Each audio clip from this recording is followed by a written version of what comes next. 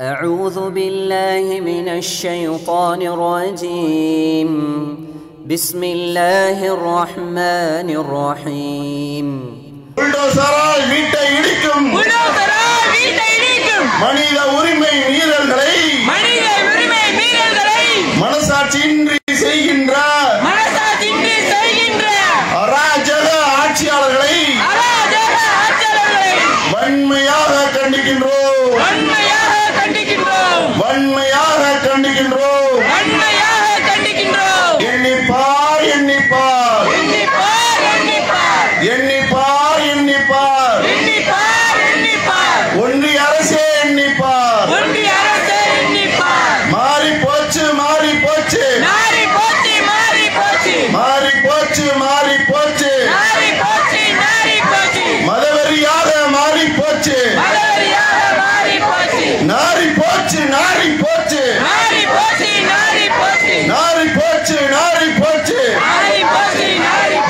சங்கிகளால் உலக அரங்கில்.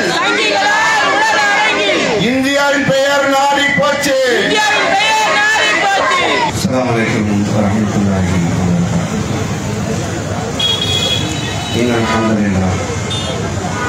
அன்பிற்குரிய சகோதரர்களே சகோதரர்களே அல்லாவுடைய தூதரை ஒரு செய்தி சேனலில் நடந்த விவாதத்தில் இழிவுபடுத்தி பேசியதை தொடர்ந்து இந்த நாட்டிலே அரங்கேறியிருக்கக்கூடிய பல நிகழ்வுகளை நினைவுபடுத்தி அதற்கான நீதியை கேட்பதற்கான இந்த போராட்டத்திலே நாம் ஒன்று கூடியிருக்கின்றோம். கியான்வாபி என்று சொல்லக்கூடிய ஒரு இறையிலத்தில் சிவலிங்கம் இருக்கிறது ஒரு டிவி சேனலிலே ஒரு விவாதம் ஒன்று நடைபெறுகின்றது. அந்த விவாதத்திலே பாஜகவுடைய செய்தி தொடர்பாளர் நுபுர் சர்மா என்று சொல்லக்கூடிய பெண்மணி கலந்து கொள்கின்றார். காலையில இந்த கூடக்கார அம்மா கிட்ட வேலை பேசும்போது ஏதாவது சண்டை நடந்திருக்கும் போல. இந்த விவாதத்துல பேசும்போதே ஒரு நாய் குலைக்கிற மாதிரியே குலைச்சிட்டு இருக்கிறாங்க அந்த அம்மா. பள்ளிவாசல்ல சிவலிங்கம் இருந்துச்சுன்னு சொல்றாங்க அப்படின்னு சொல்லி எதிர்த்தரப்புல சொன்னாங்களாம். சொன்ன உடனே இவங்களுடைய இந்த மத விஷயங்கள்ல புண்பட்ட உடனே அல்லாவுடைய தூதரை எதை வேண்டுமானாலும் பேசலாம் என்று சொல்லி பைத்தியகாரத்தனமாக அந்த பெண்மணி அந்த விவாதத்திலே பேசக்கூடிய காட்சிகளை நம்ம பார்க்கிறோம் ஒரு ரவுடி மாதிரியே பேசுது. அந்த கட்டிங் வீடியோவை நீங்க பார்த்துருப்பீங்க. né?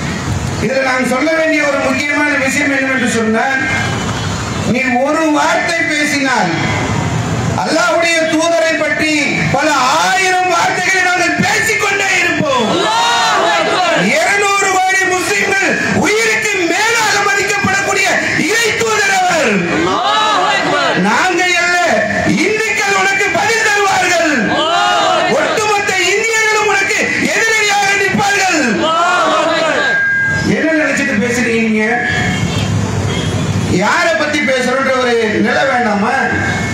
உன் தகுதி என்ன? உன் நிலை என்ன? யாரை பற்றி பேசுகின்றோ? உலகத்துல 200 கோடி முஸ்லிம்கள்.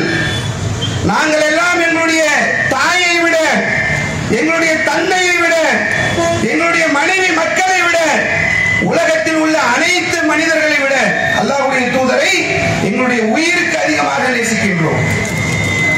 இப்படிப்பட்ட இறை தூதரை பேசுகின்ற போது ஒரு நாவடக்கம் இருக்கணும் ஆனா இது என்னவோ இன்னைக்கு நேற்று பேசுற மாதிரியான ஒரு பேச்சு கிடையாது. இவர்கள் காலம் தொட்டு காலம் தொட்டு இந்த மாதிரியான ஒரு நிலையில உங்களுடைய பேச்சு உலகம் முழுக்க ஒரு பெரிய எதிர்ப்பு கலந்து எந்த அளவுக்கு எதிர்ப்புன்னா வெளிநாட்டுக்காரெல்லாம் தன்னுடைய நாட்டுடைய தூதர்களை அழைக்கிறான். நீங்க ரிட்டர்ன் வந்துருங்க. அவருடைய உறவை நம்ம முடிப்போம். கத்தார் தெளிவாக அறிவிப்பு செய்கிறார்கள். இந்தியா மன்னிப்பு கேட்க வேண்டும். கத்தனம்ல உலக அரங்குல இந்தியாவுக்கு எவ்வளவு பெரிய ஒரு தலைகுனிவு. இந்தியாவுடைய துணை குடியரசுத் தலைவர் வெங்கையா நாயுடு வெளிநாட்டுக்கு கத்தாருக்கு போறாரு. ஒரு விருந்து ஏற்பாடு பண்ண- ஏற்பாடு பண்ணவங்க அதை கேன்சல் பண்ணிட்டாங்க. அவர்களோடு நம்ம விருந்து உண்ண மாட்டோம் என்று சொல்லி அதை கேன்சல் பண்ணக்கூடிய அளவுக்கான ஒரு நிலை ஏற்படுது. எவ்வளவு பெரிய பாதிப்பு ஏற்படுத்தும் இது உலகம் முழுக்க நீங்க முஸ்லீமை அடிச்ச முஸ்லீமை துன்புறுத்தின முஸ்லீம்களை கஷ்டப்படுத்தின நீ ஹிஜாபு போடக்கூடாதுன்னு ஹலால் இறைச்சி உண்ணக்கூடாதுன்னு எவ்வளவோ வேதனைகளை செய்த எல்லாம் பொறுத்துக்கிட்டு தான் இருந்தாங்க. இருநூறு கோடி முஸ்லீம்களுடைய உயிருக்கு மேலான அல்லாஹ்வுடைய தூதரை நீ டச் பண்ணும்போது நம்ம இருப்பாங்களா பேசாம இருப்பாங்களா இல்ல சில இடங்கள்ல பார்க்கணும் கடைகள்ல இந்திய பொருட்களை மூடி வச்சுட்டு நாங்க இந்திய பொருட்களை விற்க மாட்டோம். சாதாரண பாதிப்பை இந்தியா சந்திக்காது. இந்த சங்கிகளுக்கு இந்த உலக நடப்பு தெரியல. பெட்ரோல் இல்லைன்னா பரவாயில்லையா? பெட்ரோல் இல்லைன்னா நீ மாட்டு மூத்திரத்தை குடிக்கலாம் மாட்டு மூத்திரத்துல வண்டி ஓடுமா? பெட்ரோல் இல்லைன்னா பரவாயில்லை. பெட்ரோல் இல்லைன்னா எப்படி போக முடியும்? அந்த காலத்துல இங்க இருக்கக்கூடிய வயசானவங்க எல்லாம் சைக்கிள்ல ரொம்ப தூரம் போவோம். அந்த நிலையில ரெட்ட பெடல் போட்டுக்கிட்டு சைக்கிளை ஓட்டுற நிலை தான் ஏற்படும். பெட்ரோல் இல்லைன்னா பரவாயில்லையா? பெட்ரோல் இல்லைன்னா என்னையா பண்ண முடியும்? நீ கிட்டத்தட்ட எண்பது லட்சம் பேர் வெளிநாட்டில் வாழ்ந்து கொண்டிருக்கிறார்கள் வேலைகள். அந்நிய செலவாணி என்று சொல்லி பல ஆயிரம் கோடிகள் இந்தியாவுக்கு வருமானம் வந்து கொண்டிருக்கிறது நாங்க எல்லாரையும் வெளியே அனுப்புறேன்னு அனுப்பிட்டான்னா உனக்கு என்ன இருக்கிறது ரெண்டு ரூபாய் வாங்கி டிவிட் போடக்கூடிய உனக்கு தெரியுமா இந்த நாட்டுடைய கஷ்டம் இந்த நாட்டை உருவாக்க இந்த சமுதாயப்பட்ட துன்பம் உனக்கு தெரியுமா எவ்வளவு கஷ்டங்கள் எவ்வளவு துன்பங்கள் எவ்வளவு பிரச்சனைகளுக்கு பிறகு இந்த நாட்டை நாங்கள் உருவாக்கி வைத்திருக்கிறோம் எவ்வளவு தியாகங்கள் எவ்வளவு அர்ப்பணிப்புகள் சும்மா ஈஸியா வந்து இந்த நாட்டை குட்டி சவராக்கக்கூடிய வேலைகளை செய்யக்கூடியதை பார்க்கிறோம் இதெல்லாம் இங்க பலிக்காது இங்க உலக அரங்குல தலைகுனிவு ஏற்பட்ட பிறகு இவர் சொல்றாரு நாங்க நுபுர் சர்மாவை கட்சியை விட்டு நீக்கிட்டோம். உலக அளவுல தலைகுனிவு வந்ததுக்கு அப்புறம் இவர் வந்து நுபுர் சர்மாவை நீக்கிட்டாராம். உலகத்துல இந்தியாவை காரி துப்புறான். எவ்வளவு அசிங்கம் எவ்வளவு வேதனை. இதுதான் உனக்கு கடைசி நிலை. உன்னுடைய கொட்டத்தை நாங்கள் அடக்குவோம் உலக மக்கள் மத்தியில் நீங்கள் அசிங்கப்பட்டு நிற்கிறீர்கள் மோடிக்கு செருப்பு மாலை அணிவிக்கிறார்கள் மோடியை காலில் பட்டு மிதிக்கிறார்கள் ஒரு நாட்டுடைய பிரதமரை செருப்பு மேல போட்டு செருப்பால அடிச்சு செருப்புல மிதிச்சு இவ்வளவு கேவலப்படுத்தக்கூடிய ஒரு நிலை ஏற்பட்டிருக்கிறது என்று சொன்னால் இதுக்கு காரணம் நீங்க தான் சங்கிகளாக இருக்கக்கூடிய நீங்கள் தான் இதற்கு முதல் காரணம். இந்த நுகுர் சர்மா இருக்கிறாங்களே நிகழ்ச்சி நடந்து முடிஞ்சிருச்சு. எதிர்ப்புகள் வர்றதுக்கு முன்னாடி இவங்களுக்கு எல்லாருமே I support with Nupur Sharma. I stand with Nupur Sharma. நாங்கள் நுபுர் சர்மாவுக்கு பாதுகாப்பாக இருக்கிறோம். அமித்ஷா எங்களுக்கு பாதுகாப்பாக இருக்கிறாங்களாம் பேசினாங்க. அடித்தாங்க ஒரு அடி. வளைகுடா நாடுகள் அடித்த உடனே இந்த அம்மாவுடைய அடுத்த ஸ்டேட்மெண்ட் என்ன? நான் நிபந்தனையற்ற மன்னிப்பு கேட்கிறேன். இது வந்து இந்த வகையராக்கே உள்ளதுதான். இது என்ன புதுசு கிடையாது. ஒரு சுதந்திர போராட்டம் நடக்கிற நேரத்தில் வாஜ்பாய் இருந்தார்ல அவரை வந்து அரெஸ்ட் பண்ணி போயிட்டாங்க. கைது செஞ்சுட்டு போனதுக்கு அப்புறம் நடந்தது சுதந்திர போராட்டம். கைது செஞ்சிருக்கிறாங்க. நாட்டுக்காக சிறைக்கு வந்திருக்கணும் இருக்கணும்ல இருந்தாலே நான் வந்து வேடிக்கை பார்க்க வந்து என்னை விட்டு விடுங்க எழுதி கொடுத்துட்டு வந்தேன் ஏதாவது ஒரு பிரச்சனையில மாட்டிக்கிட்டாங்கன்னா தொப்புக்குன்னு காலில் விழுவாங்க. இவருடைய தலைவர்களாக இருக்கக்கூடிய பல பேருடைய வரலாறு நீங்கள் எடுத்து பார்த்தீர்கள் என்று சொன்னார் சாவர்கர் அந்தமான் சிறைக்கு கொண்டு போயிட்டாங்க. இவர் சுதந்திர போராட்ட வீரர்னு சொல்லி இப்ப கதை எழுத பார்க்கிறான். எழுதி கொடுத்துட்டு வந்த லெட்டர் இன்னைக்கு வரைக்கும் இருக்கிறது. நான் இந்த பக்கம் தலை வச்சு கூட படுக்க மாட்டேன். சுதந்திர போராட்டத்துக்கு எனக்கும் எந்த சம்பந்தமும் இல்லை என்று சொல்லி எழுதி கொடுத்துட்டு வந்த நிலைகள் வந்து இன்னைக்கு வரைக்கும் இருக்கக்கூடியதை பார்க்கிறோம். இதே மாதிரிதான். காந்தியை கோட்சே போய் சுட்டாரா? சுடும்போது ஆர்எஸ்எஸ் காரங்க தூக்கி வச்சு கொண்டாடினாங்க.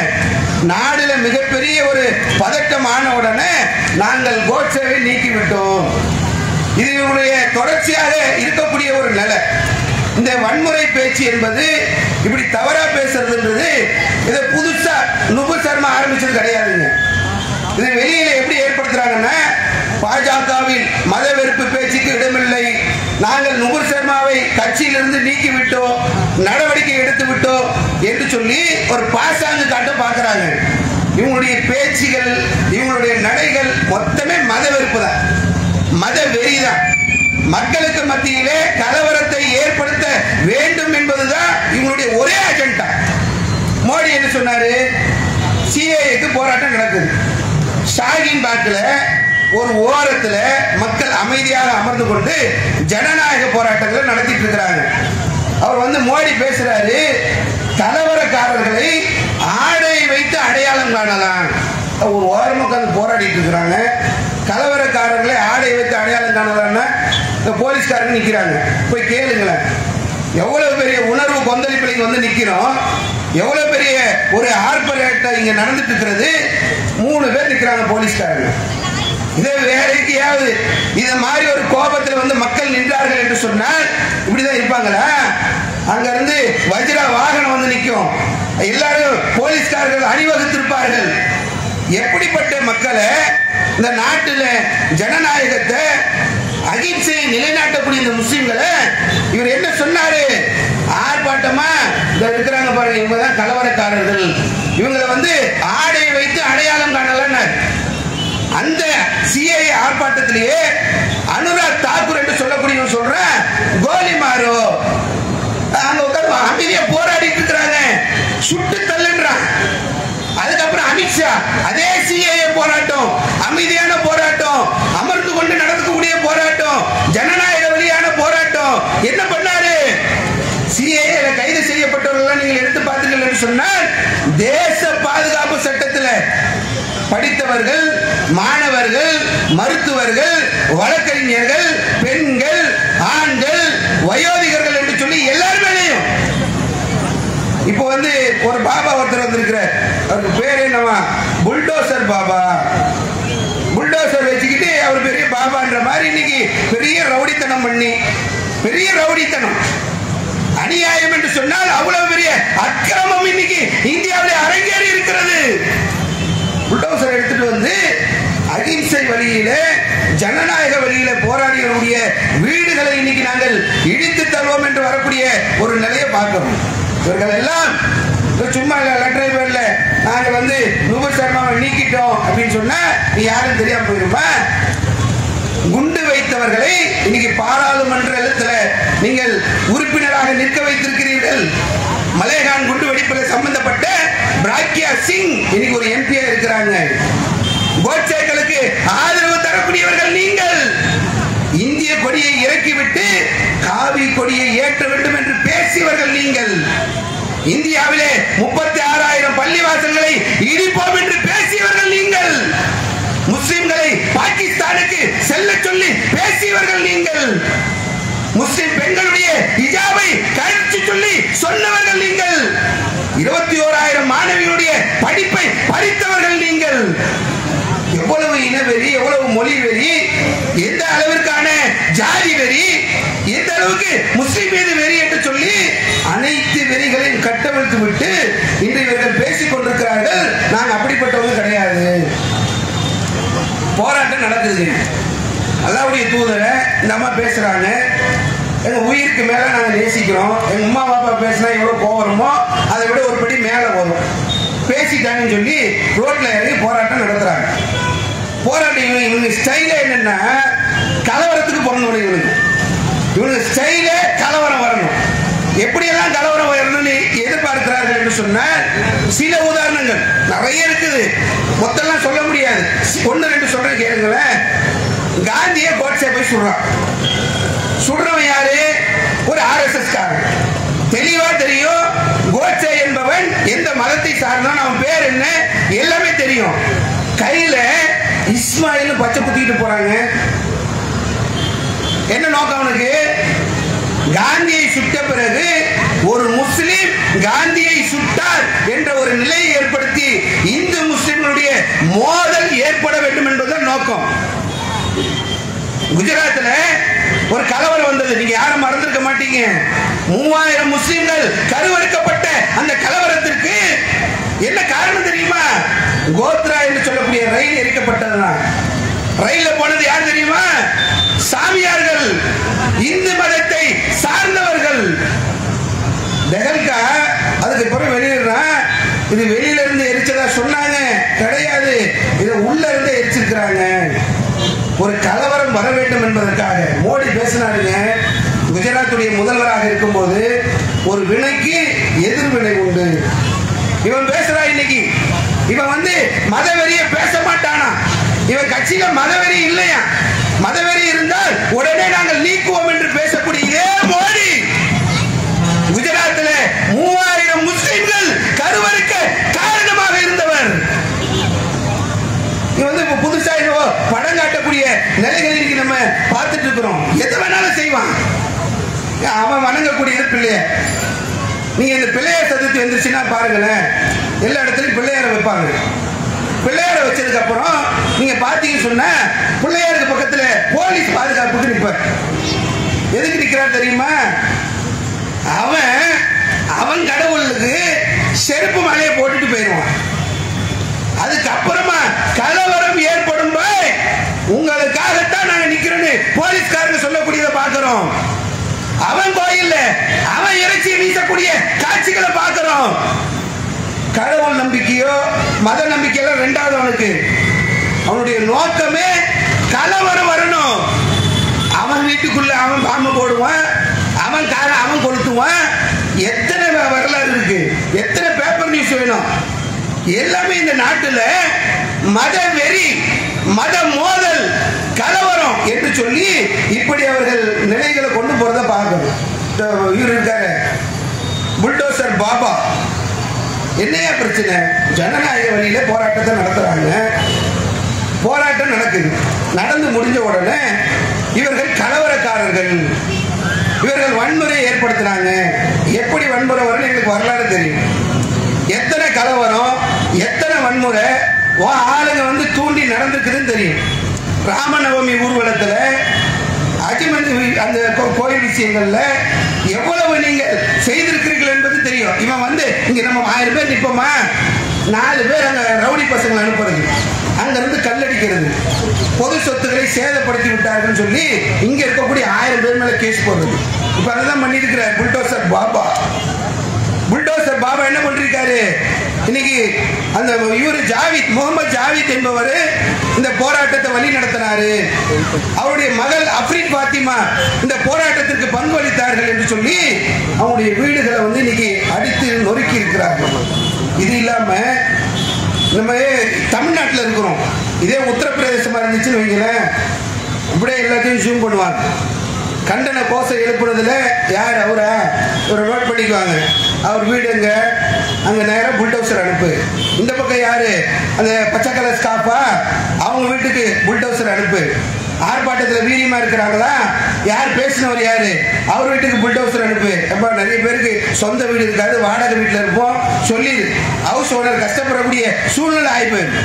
உத்தரப்பிரதேசத்தில் என்ன நிலைமைன்னா ஒரு ஜனநாயக வழியில போராட்டத்தில் ஈடுபட்டார்கள் என்று சொன்னால் அதுக்கு புல்டோசர் வரும் தொண்ணூத்தி மூணு பேருடைய லிஸ்ட் இப்ப எடுத்திருக்கிறாங்க. எப்படி இன்னைக்கு முகமது ஜாவித் அவருடைய வீடு இடிக்கப்பட்டதோ அது போன்று இந்த வீடுகளை நாங்கள் இடிப்போம் என்று சொல்லி இன்னைக்கு சொல்லக்கூடியதை பார்க்கணும். காரணம் வேற. ஆக்கிரமிப்பு இடமா? இல்ல, ஆக்கிரமிப்பு இடம்னாக்கா நீ இடிச்சிருவியா நீ? இந்த நாட்டில் சட்டம் இல்லையா? இந்த நாட்டில் நீதிமன்றம் இல்லையா? எல்லாரும் என்ன செத்து போச்சா? உன் இஷ்டத்துக்கு நடக்கிறதுக்கு நீ என்ன காட்டு தர்பார் நடத்துறியா? கட்ட பஞ்சாயத்து நடத்துறியா? ரவுடியா நீ? ரவுடியா கேட்கிறேன் இந்த நாட்டில் கான்ஸ்டிடியூஷன் இருக்குதா இல்லையா? இவர் வருவாரா இடிப்பாராம் ஆக்கிரமிப்பு இடம் என்று சொன்னால் இடித்துருவியா? சட்டம் இல்லையா அதுல? ஆக்கிரமிப்பு இடம் கூட இல்லைங்க. இருபது வருடமாக ஈபி கட்டி இருக்கிறாரு இருபது வருடமாக தண்ணீர் வரி கட்டி இருக்கிறாரு இருபது வருடமாக நிலவரி கட்டி இருக்கிறார் அவருடைய மகள் அப்ரீன் பாத்திமா இன்னைக்கு வந்து ஜேஎன்யூ பல்கலைக்கழகத்தில் படித்து அங்கு மாணவர்களுக்கு தலைவராக இருந்து படிப்பே முடிச்சிட்டாங்க. இவங்க அம்மாவுடைய கல்யாணத்தில் அவங்க அம்மாவுக்கு அவங்க தந்தை இந்த வீட்டை பரிசாக கொடுத்தது. எவ்வளவு பாரம்பரியம் உள்ள ஒரு இடம் அது. அந்த ஒரு பெரிய ஊர்லங்க ஒரு சின்ன அந்த சந்தில உள்ள அந்த வீடு மட்டும் ஆக்கிரமிப்பு இடம். ஆக்கிரமிப்பு இடத்தை அகற்றக்கூடிய தைரியம் திராணி உனக்கு இருந்தது என்று சொன்னால் நீ பெரிய புல்டோசர் பாபா என்று சொன்னால் லடாக்குக்கு வாயே. உன் புல்டோசர் எடுத்துக்கிட்டு சீனாக்காரன் இன்னைக்கு லடாக்குக்கு வந்துட்டான். சீனாக்காரன் ஆக்கிரமிச்சு உள்ள வந்துட்டாங்க.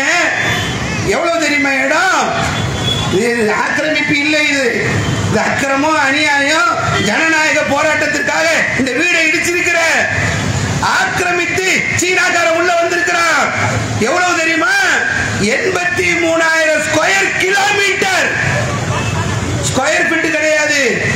எண்பத்தி மூணாயிரம் ஸ்கொயர் கிலோமீட்டர் சைனாக்காரன் இந்தியாவுக்குள்ள வந்திருக்கிறான். தைரியம் இருக்கா அவனுக்கு திராணி இருக்கா? புல்டோசர் அனுப்பிவியா புல்டோசர் போகுமா போராட்டங்களில் ஈடுபட்டால் புல்டோசர் வரும் படம் காட்டுறான் உன் புல்டோசர் அனுப்ப எங்கெல்லாம் அனுப்புவே மோடி பஞ்சாபுக்கு நாட்டினுடைய பிரதமர். உயர்கட்ட பாதுகாப்புல உள்ளவர். போராட்டம் நடக்குது. பிரிட்ஜ் மேலே நிற்க வச்சு திருப்பி அனுப்பிட்டான் போராட்டக்காரர்களை எல்லாம் புல்டோசர் வச்சு அனுப்பியப்பா? பஞ்சாபுக்குள்ள புல்டோசர் எடுத்துன்னு போயேன் முடியுமா உன்னால? திராணி இருக்கிறதா? தெம்பு இருக்கிறதா? தைரியம் இருக்கிறதா? புல்டோசர் பாபா! முடியுமா உன்னால? எவ்வளவு தெனாவட்டு முஸ்லிம்களுடைய வீடுகளை நீ இப்படி இடித்து தள்ளுவ. போ லிஸ்ட் தர நிறைய. அமித்ஷா அசாமுக்கு போக முடியல. என்ஆர்சியை கொண்டு வராங்க. வெளிநாட்டு மக்கள்லாம் இங்க உள்ள வந்துருவாங்கன்ற அச்சத்துல அஸ்ஸாம் அனுபவம் புல்டோசர. அனுப்ப முடியுமா? இந்த இப்போ ஏன் பழசு? அக்னிபத். அக்னிபத்துன்னு அக்னிபாத்துன்றாங்கல்ல. அக்னிபத்துன்னு ஒரு திட்டத்தை கொண்டு வந்திருக்கிறான் என்ன திட்டம்? ராணுவத்தில் வேலைக்கு ஆள் எடுக்கிறது. இதுக்கு முன்னாடி நல்லா போயிட்டு இருக்குது பல ஆண்டுகளாக இந்தியா சுதந்திரம் அடைந்ததுலேருந்து இந்திய ராணுவம் இயங்கிக்கிட்டே இருக்கிறது. இது வந்திருக்கிறாங்கல்ல எல்லாம் பூமுட்டை. ஒருத்தருக்கும் ஒரு அறிவு கிடையாது. சொந்த அறிவு ஒருத்தருக்கும் கிடையாதுங்க. இந்த நாட்டை ஆட்சி செய்யக்கூடிய ஆட்சியாளர்கள் எல்லாம் கூமுட்டியா இருக்கிறாங்கன்றதுக்கு நிறைய உதாரணம் இருக்கிறது. அதுல ஒண்ணு இது. என்னவா? ஆளுக்கு வேலைக்கு ஆள் எடுப்பாங்களாம் நாலு வருஷமா. சரிப்பா நாலு வருஷத்தில் என்னப்பா பண்ணுவாங்க? அந்த நாலு வருஷத்துக்குள்ளே ட்ரைனிங்கும் கொடுப்பாங்களாம் நாலு வருஷத்தில் வேலையும் வச்சுக்குவாங்களாம் நாலு வருஷம் கழிச்சு வெளியே அனுப்பிடுவோம். வெளியே அனுப்பினா அவன் என்னப்பா பண்ணுவான்? பன்னெண்டு லட்சம் தருவோம். ஏற்கனவே நீ பதினஞ்சு லட்சம் தருவ நீ அப்படியா? பன்னெண்டு லட்சம் தருவோம். நாலு வருஷம் கழிச்சு பன்னெண்டு லட்சம் தருவாங்க சரி நாலு வருஷம் கழிச்சு யாரப்பா வெளியே அனுப்புவ? நீங்க ஒரு பத்தாயிரம் பேரை உள்ள சேர்த்தீங்கன்னு சொன்னா அதுல எழுபத்தஞ்சு சதவீதம் பேர் இவர் அனுப்பிடுவாங்க. ஏழாயிரத்தி ஐநூறு பேர் வெளியே வந்துடும் கொஞ்சம் யோசிச்சு பாருங்க. நாலு வருஷம் ஆயுத பயிற்சி எடுத்துட்டு எல்லா ட்ரைனிங் எடுத்துட்டு அவர் வந்து வெளியே வந்து சும்மா இருப்பானா? வந்த உடனே நம்ம என்ன தெரியுமா செய்வான் நான் மாப்பிள்ள ஒன்றும் அனுப்பிட்டாம தகுதியில் இல்லை போல இருக்குது உனக்கு அனுப்பிட்டானா? அவ்வளோதான் அவனுக்கு ஏறுமா நான் வரலாறு பட்டியடா. நாட்டு நடப்பு படிங்க. ஒருத்தர் ராணுவ பயிற்சி எடுத்துக்கிட்டு நாலு வருஷம் கழிச்சு உள்ளூர்ல வந்து இப்படி ஆயிரக்கணக்கில் வருஷ வருஷம் நீ இத்தனை ஆயிரம் பேரை உள்ள அனுப்புனீங்கன்னா நாடு நாடா இருக்குமா கொஞ்சம் கூட இந்த அறிவு இல்லாம ஆரம்பத்தில் பண்ணாங்களே இல்லையாங்க? ஐநூறு ஆயிரம் செல்லாதுன்னாங்க. ஐநூறு ஆயிரம் செல்லாதுன்னு உடனே நம்ம எல்லா இடத்துலையும் தேனாறு பாலாறு ஓடுன்னு நினைச்சோம். எல்லாரும் போய் பேங்க் வாசலில் நின்று செத்து மடிகிற நிலையை தானே ஏற்படுத்தினாங்க. அந்த நாட்டின் மீது ஏதாவது அவர்களுக்கு அக்கறை இருக்கிறதா? ஏதாவது அவர்களுக்கு அறிவு இருக்கிறதா? ஏதாவது ஒரு செயல் திட்டத்தை கொண்டு வரக்கூடிய நிலை இருக்கிறாங்களா கொஞ்சம் யோசிச்சு பாருங்க. சிலர் பேசுறாங்க இப்படியும் பேசிக்கிறாங்க. இலவசமாக இந்த ஆர்எஸ்எஸ் காரங்களுக்கு சாகா பயிற்சி கொடுத்தான்ல அதுக்காக கொண்டு போய் நீங்க ராணுவத்தில் வச்சு அவங்களுக்கு பயிற்சி தருவதற்கு மோடி திட்டமிட்டு இருக்கிறார் வட மாநிலம் பத்தி எரியுது. பத்தி எரியக்கூடிய இடம் எப்படிப்பட்ட இடம் தெரியுமா? எல்லாம் ஆர்எஸ்எஸ் உடைய கோட்டைகள். அல்லாஹ் ரப்பல் ஆலமீன் உன் தலையிலே அடிப்பான் சுக்குநூறா ஓடிப்பான் நீ காணாமல் போவாய். குறித்து வைத்துக் கொள் என்ன கொள்கை சார்ந்த மக்கள்கிட்ட நீ மோதுற தெரியுமா? எப்படிப்பட்ட சிந்தனை உள்ளவர்கள்கிட்ட நீ மோதுற என்பதை நீ புரிந்து வைத்துக்கொள். அவனுடைய இந்த நிலையெல்லாம் நம்ம ஒடிச்சு நொறுக்கிக்கிட்டே வராங்க இஸ்லாமிய சமுதாயம். எவ்வளவு பாதிப்பு எவ்வளவு கஷ்டம் எவ்வளவு துன்பங்கள் வந்தாலும் இந்த நாட்டுடைய இந்த அரசியல் சாசன சட்டத்தை பாதுகாப்பதற்காக ஜனநாயக அடிப்படையில் நம்முடைய போராட்டங்கள் எடுத்துட்டு போயிட்டே இருக்கிறோமா? அவனால முடியல. அவன் எப்படியாவது கலவரம் வரணும் எங்கேயாவது வெடிக்கணும் எங்கேயாவது பிரச்சனை வரணும் மத மோதல் வரணும்னு துடிக்கிறான். ஏ எங்க நாடுடா? நீ சொன்னிய சுதந்திர அந்த இந்தியாவுல சுதந்திர இந்த இந்திய கொடியை இறக்கி விட்டு காவி கொடியை ஏத்துவனே ஏத்து. அதுக்கப்புறம் எங்க ஸ்டைல பாரு இந்த நாட்டிலே இந்த நாட்டை உருவாக்குவதற்காக இந்த நாட்டை அந்நியர்கள் பறிக்கின்ற போது அவங்களிடம் மீட்பதற்காக எங்களுடைய கொடுத்த விலை தெரியுமா? இப்படிப்பட்ட விலையை கொடுத்த சமுதாயம் இது. இந்த நாட்டில இந்த அரசியல் சாசன சட்டம் இருக்கின்ற வரைதான். உனக்கு பாதுகாப்பு. முதல்ல நீ முடிவு வச்சுக்க. இந்த நாடு இந்திய நாடாக அரசியல் சாசன சட்டம் உள்ள நாடாக இந்திய தேசத்து மக்கள் எல்லாம் அண்ணன் தம்பிகளாக வாழ வேண்டும் என்பதற்காகத்தான் நீ அடிக்கக்கூடிய அடிக்கு நீ போடக்கூடிய வழக்குகளுக்கு நீ தரக்கூடிய துன்பங்களுக்கு ஜனநாயக ரீதியிலான போராட்டங்களை நாங்கள் முன்னெடுத்து சென்று கொண்டிருக்கிறோம் என்பதை இந்த நேரத்தில் நான் உங்களுக்கு எச்சரிக்கையாக சொல்லிக் கொள்கிறேன். பல இடங்கள்லங்க இந்த நாட்டில் அவன் பேசுகிற பேச்செல்லாம் ரொம்ப மோசமான பேச்சாக இருக்கு. இப்படிப்பட்ட நேரத்தில் யார் கட்டிக்கணும் சிலர் வந்து உச்ச நீதிமன்ற நீதிபதிக்கு கடிதம் எழுதுறாங்க. ஓய்வு பெற்ற நீதிபதிகள் உச்சநீதிமன்ற வழக்கறிஞர்கள்லாம் இந்த புல்டோசர் என்பது ரொம்ப அநியாயம். இது ஜனநாயகத்தை மீறிய செயல். மிகப்பெரிய ரவுடித்தனம். இதை கண்டித்து எல்லாம் கடிதம் எழுதி கொண்டிருக்கக்கூடியதை பார்க்கணும் நம்ம நாட்டில் என்ன நடக்குது? தமிழகத்தில் முஸ்லீம்கள் அதிமுகக்கும் திமுகக்கும் மாறி மாறி ஓட்டு போட்டோமே. உங்களை ஆட்சி கட்டிலில் அமர்த்து அழக பார்த்துருக்கிறோமே. என்னப்பா பண்ணீங்க? நீங்க அதிமுக கிட்ட கேட்க முடியாது. இபிஎஸ்க்கும் ஓபிஎஸ்க்கும் ஒற்றை தலைமை யார் என்று சொல்லி மிகப்பெரிய சண்டை நடந்துட்டு இருக்கு யாரை யார் அடிப்பதுன்னு சொல்லி ரத்த காடா நிற்கிது திமுக சிறுபான்மையினருடைய ஓட்டுகளை பெற்று வாக்குகளை பெற்று ஆட்சி கட்டியில் அமர்ந்திருக்கிறீர்களே என்ன நிலையில் இன்னைக்கு சமுதாயம் இருக்கிறது? எவ்வளவு பேர் குரல் கொடுக்கிறார்கள்? சமூக சிந்தனையாளர்கள் எழுதி கொண்டிருக்கிறார்கள். ஓய்வு பெற்ற நீதிபதி அவங்க பணி முடிஞ்சு போயிருச்சு. வழக்கறிஞர்கள் பணி முடிந்து விட்டது சமூக செயல்பாட்டாளர்கள் இன்னைக்கு கடிதம் எழுதுறாங்க. இன்னைக்கு நீங்க முதல்வர் நாட்காலியில் அமர்ந்து கொண்டு அதுக்கு காரணமாக இருந்த இந்த சிறுபான்மை சமுதாயம் இந்த நாட்டிலே இன்னைக்கு கேள்வி குத்தாக்கப்படுகிறது நசுக்கப்படுகிறது ஒடுக்கப்படுகிறது. ஒரு வார்த்தை பேசுனீங்களாங்க? இருபத்தி ஓராயிரம் மாணவிகளை வந்து ஹிஜாபின் காரணமா கல்வி கற்க முடியாம நிலையை ஏற்படுத்தி இருக்கிறாங்களே ஒரு குரல் கொடுத்தீர்களா? அல்லாஹுடைய தூதர் இருநூறு கோடி முஸ்லிம்கள் உயிருக்கு மேலாக நேசிக்கக்கூடிய அல்லாஹுடைய தூதரை இழிவுபடுத்தி பேசுறாங்களே ஒரு கண்டனத்தை பதிவு செய்தீர்களா? இந்த மக்களுடைய மனநிலையை அவர்கள் புரிந்து கொள்ளாமல் இருக்கக்கூடிய ஒரு நிலையை பார்க்கணும். சங்கிகளுக்கு ஒரு விஷயத்தை சொல்லி கேட்கும் தொப்புள் கொடி உறவுகளாக நாங்களும் மற்ற மதத்தை சார்ந்தவர்களும் இங்கே வாழ்ந்துட்டு இருக்கோம். எங்களுக்கு மத்தியில் மதத்தை சொல்லி அதை சொல்லி இதை சொல்லி கலவரத்தை ஏற்படுத்தலாம் நினைச்சீங்கன்னா தோத்து போயிடுவேன். உன்னால் அதெல்லாம் முடியாது. அதையெல்லாம் முறியடிக்கக்கூடிய எல்லா வேலைகளையும் நாங்கள் செய்வோம். நீ கலவரத்துக்கு காரணமானவர்கள் என்று எங்களை சொன்னீர் என்று சொன்னால் உயிர் காக்கக்கூடியதிலே முதலிலே முஸ்லிம் நிற்பான். உதிரம் கொடுத்து உயிர் காப்பான் கொரோனா நேரத்திலும் அவனுக்கு பக்கபலமாக நிற்பான் நீ இப்படி எல்லாம் பூச்சாண்டி காட்டி எங்களுக்கு மத்தியில பிளவை ஏற்படுத்தலாம் நினைக்காத அது நடக்கவே நடக்க. இன்னைக்கு இந்த சங்கிகள் என்ன பண்றாங்கன்னா அல்லாவுடைய தூதரை டச் பண்ணா உங்களுக்கு கோபம் வருது. நீப்பா நீ எந்த வழியில வரியோ என்ன ரூட்ல வரியோ அதே வழியில நாங்க வருவோம். நீ அல்லாவுடைய தூதரை பற்றி பேசினாய் என்று சொன்னால் யார் இவர்? எப்படிப்பட்ட மாமனிதர் எப்படிப்பட்ட அப்பழுக்கற்ற வாழ்க்கைக்கு சொந்தக்காரர் என்பதை மக்களுக்கு கொண்டு போய் சேர்ப்போம். நீ என்ன மாதிரியெல்லாம் இங்கே பெண்களை வச்சிருந்த? மேல் சட்டை போடக்கூடாது. நீ கோயிலில் வந்து இப்படி இருக்கணும் அந்த மாதிரி இருக்கணும். செத்து போனாக்கா கணவனோடு சேர்ந்து உடன்கட்டை ஏறணும். கணவன் இறந்து விட்டால் மறுமணம் செய்யக்கூடாது. இதெல்லாம் வச்சிருந்தல்ல? இதெல்லாம் மாத்தினவங்க நபிகள் நாயகம்.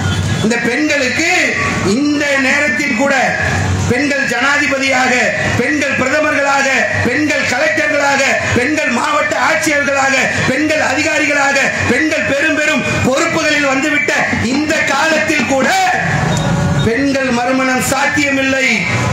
இதை அல்லாஹுடைய தூதர் முகமது நபி அவர்கள் செய்து கட்டியிருக்கிறார்கள். பெண் உரிமையை வாங்கி தந்தவர்கள் ஏழ்மையை ஒழித்தவர்கள் பொருளாதார சட்ட திட்டங்களை வகுத்து கொடுத்தவர்கள் மிகப்பெரிய பொருளாதார புரட்சி செய்தவர்கள் என்பதை எல்லாம் இந்த தேசத்திற்கு ஒட்டுமொத்த உலகத்திற்கு கொண்டு செல்லக்கூடிய இந்த பிரச்சாரத்தை நாங்கள் கையில் எடுப்போம். அவர் மிகப்பெரிய மாமனிதர் ஒழுக்கமான வாழ்க்கைக்கு சொந்தக்காரர் ஒழுக்கத்தை போதித்தவர் ஒழுக்கத்தின் அடிப்படையிலே மிகப்பெரிய சமுதாயத்தை கட்டமைத்தவர் என்பதை மக்களுக்கு கொண்டு போய் செல்வோம் இந்த நேரத்தில் ஆட்சியாளர்களுக்கும் உச்ச நீதிமன்ற நீதிபதிகளுக்கும் ஒரு விஷயத்தை நம்ம சொல்லிக் கொள்கிறோம் பேசின நுபுர் சர்மா நவீன் ஜிண்டால் ரெண்டு குண்டர்களையும் தேசிய பாதுகாப்பு சட்டத்தில் கைது செய்யுங்க. முஸ்லீம்களுடைய உணர்வுகளுக்கு மதிப்பளித்து அவர்கள் கைது செய்யப்பட வேண்டும். இப்ப நாலு நாளாக அவங்க தலைமறைவான். காணாமல் போயிட்டாங்களாம் தேடுறாங்களாம் தேடுங்க நீங்க. அவர்கள் கைது செய்யப்பட வேண்டும் என்பதை இந்த நேரத்தில் நாங்கள் கோரிக்கையாக வைத்துக் கொள்கின்றோம். உச்ச நீதிமன்ற நீதிபதிகளுக்கு. இப்போ இந்த கேஸ் வந்திருக்கிறது. மேல்முறையீடாக உச்ச நீதிமன்றம் போயிருக்கிறாங்க. உச்ச நீதிமன்றத்தில் சொல்லியிருக்கிறாங்க சட்ட வரையறைகளுக்கு உட்பட்டு நீங்க இடிக்கலாம். மாநில அரசு செய்யக்கூடியதை நாங்க தடுக்க முடியாது. மாநில அரசு செய்யறத உச்ச நீதிமன்றம் தடுக்க முடியாது. ஏன்னா ஆக்கிரமிப்புன்னு சொல்லும்போது எத்தனையோ ஆக்கிரமிப்புகளை அகற்றுவதற்கு மாநில அரசு முனைப்பு காட்டும். இது ஆக்கிரமிப்பு கிடையாது. ஜனநாயக போராட்டத்தை ஒடுக்க வேண்டும் என்பதற்காக பயங்கரவாதியாக ரவுடியாக செயல்படக்கூடிய புல்டோசர் பாபா கையில் எடுத்திருக்கக்கூடிய செயல் இது. உச்சநீதிமன்றம் இதை முழுமையாக விசாரித்து இனிமேல் எங்கும் இந்த புல்டோசர்கள் கொண்டு வீடுகள் இடிக்கப்படாத ஒரு நிலையை இந்த சமுதாயத்திற்கு உறுதி செய்ய வேண்டும். நாங்கள் அதை எதிர்பார்க்கிறோம். இந்த புல்டோசரை கண்டெல்லாம் இந்த சமுதாயம் அஞ்சாது என்பதையும் இந்த நேரத்தில் நாங்கள் ஆட்சியாளர்களுக்கு ஒரு எச்சரிக்கையாக சொல்லிக் கொள்கின்றோம். எந்த நேரத்திலும் எப்படிப்பட்ட எதிரிகளையும் சந்திப்பதற்கு தயாராக இருக்கக்கூடிய கூட்டம். பல வரலாறுகள் இருக்கிறது. முந்நூறு பேர் இருந்தாங்க. பதில்களத்தை சந்தித்தாங்க அங்கே பெரிய எதிரிகள் பயப்படலை. சந்தித்தார்கள் வெற்றி அடைந்தார்கள் வெள்ளையனை எதிர்த்தோம். பெரும் ஆட்சியாளன் சூரியன் மறையாத பகுதிகளுக்கெல்லாம் சொந்தக்காரன் என்று பேசப்படக்கூடிய அளவில் இருந்த வெள்ளையன் எங்களுடைய இந்த போராட்டத்தால் விரட்டப்பட்டிருக்கிறான் ஆட்சியாளர்கள் உணர்ந்து கொண்டு இதை நீங்கள் தக்க நடவடிக்கை எடுக்க வேண்டும் சொல்லி என்னுடைய இந்த கண்ணன உரையை முடித்துக் கொள்கின்றேன். வாகன தவானா அல்ஹம்துலில்லாஹி ரபில்